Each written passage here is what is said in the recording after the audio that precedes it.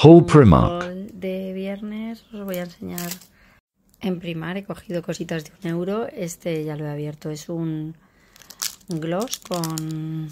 Es un 2 en 1. Un lip gloss con lip liner. Lo voy a terminar de abrir. Su precio era 4 euros. Es así. Y este es el swatch.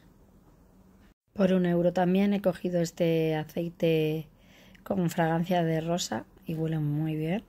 Su precio eran pues 5 euros y ahora ha costado un euro. También cogí esta mascarilla, así, de un euro. Estos son parches para, los, para el contorno de ojos. Y pues lleva granada, cafeína y niacinamida.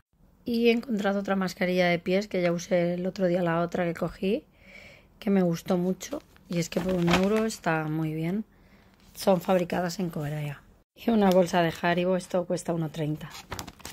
Nada más. Chao.